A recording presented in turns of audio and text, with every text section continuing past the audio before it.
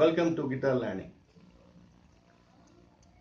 Today's class is about the holding position of the guitar and the plectrum or pick. To begin with, place the body of the guitar between the right thigh and right armpit while in a sitting position. Place your right hand on the bass. Now, this, this is the fretboard of the guitar which has six strings. One, two, three, four, five, six. Each string represents a musical note which will be explained in future classes. Remember, guitar playing is not as smooth or as easy. This is because the tone is produced by your playing. The harder you press the string on the fret with your fingertip, the better the tone. To achieve this, chromatic notes need to be practiced. To start with, place your left thumb on the back of the fret, fretboard, and the other four fingers on the first four frets of the first string.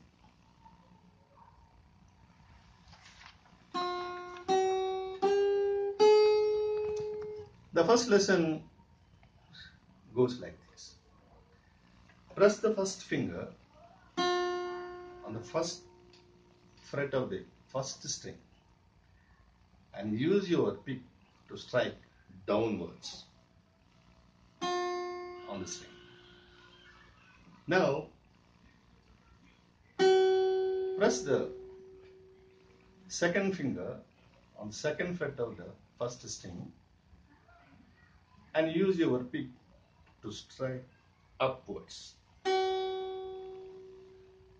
Repeat this with the third finger with downstroke and the fourth finger with upstroke. This le- lesson starts with a slow tempo of one second gap between two strikes.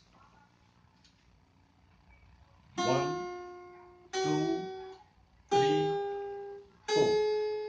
One, two, three, four. Once you have achieved a smooth playing on the first string, move to the second string and practice the same way.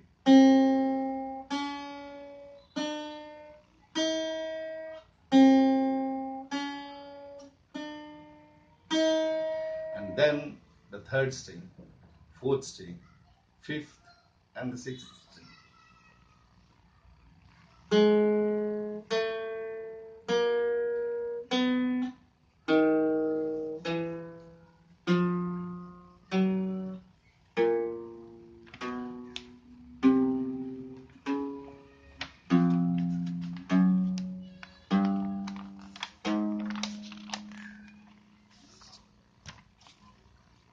The next stage is